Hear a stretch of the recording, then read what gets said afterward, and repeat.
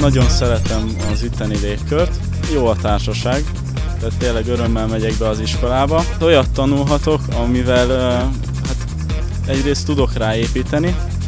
másrészt később szerintem egy jó állásom lehet, és ezzel meg tudom alapozni a jövőmet. Jövőre már itt fogunk tanulni a Ludovika kampuszon, és ennek nagyon örülök,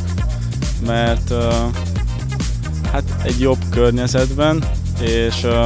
modernebb körülmények között tudunk majd tanulni,